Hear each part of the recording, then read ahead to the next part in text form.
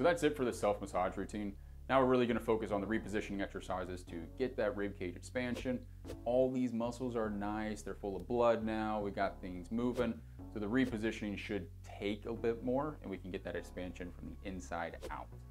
The first exercise we'll be utilizing in the repositioning drills is a seated banded posterior expansion. We'll need a really light band, think yellow or peach, and that will be between the hands. And then you want to do a couple of scapular retractions and protractions, holding the protracted position. The elbows are below shoulder level, so at about 45 degrees or so. Now, what we'll do with this is we will fully exhale everything out while maintaining that scapular protraction. And as you exhale, you should feel some lower abdominals kick in. Hold your breath for five seconds at the end of that exhale, and then silently inhale through the nose while keeping the lower abdominals taut. Inhale and feel this expansion through the rib cage in 360 degrees, specifically into the posterior aspect between the shoulder blades. We're trying to expand the rib cage backwards in between the shoulder blades so that way the scapula can sit nice and even on the rib cage. Now, common mistakes we'll see with this exercise are overstretching the band where it's way too taut and tucking the chin underneath. We'll also see folks want to really round their back in like a turtle shell through that thoracic spine. And lastly,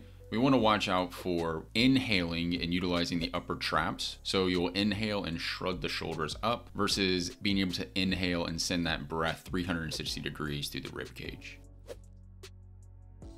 The second exercise we'll use in this repositioning series is bear position breathing. So you'll start with a foam roller between your knees and in a quadruped position with the knees directly underneath the hips and hands directly underneath the shoulders. We'll do a couple of scapular retractions and protractions while maintaining the protracted state. You'll then lean forward to put a little bit more weight through the upper body and through the hands and make sure that you're keeping the elbows nice and soft. You don't want to lock them out and be in a hyper extended position. You'll then maintain this positioning while completing the breathing. So you'll fully exhale everything out, feeling a little bit of lower abdominal tension. You'll then hold for five seconds and then silently inhale through the nose while maintaining that abdominal tension. You should feel some inhalation or expansion into the anterior chest wall, as well as a bit into the posterior aspect in between those shoulder blades.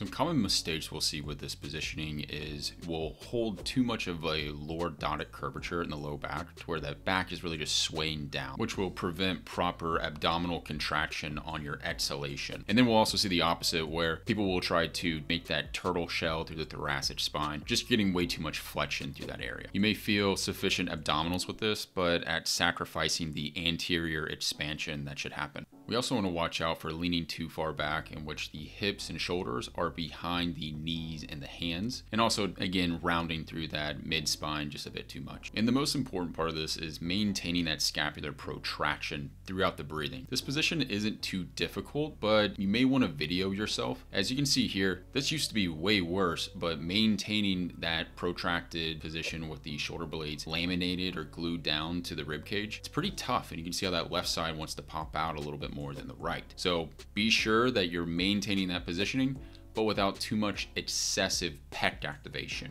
as that pec activation will limit the anterior expansion that should happen. For the last repositioning exercise, we'll be utilizing a door for the supported squat hold. Now you don't have to necessarily use a door, but the most important thing is that you need something to hold on to with your palms facing up. So we'll also be utilizing a foam roller or a yoga block between the knees. And then what you're going to do is squat down to between 45 and 60 degrees of hip flexion. Now you'll also maintain shoulder flexion of about 45 to 60 degrees as well. As you can see, my arm is parallel to my thigh. So I'm gonna make sure my weight is in my heels as I'm hanging backwards off the door in this case. So that way I feel a gentle stretch between the shoulder blades. I'm not necessarily squeezing the foam roller, I'm just holding it in place and then I will fully exhale everything out, feel some low abdominal tension. I'll maintain that tension through a five second pause. And on the inhalation, where I will feel a gentle expansion through the posterior portion of the rib cage, as well as a little bit into the anterior portion.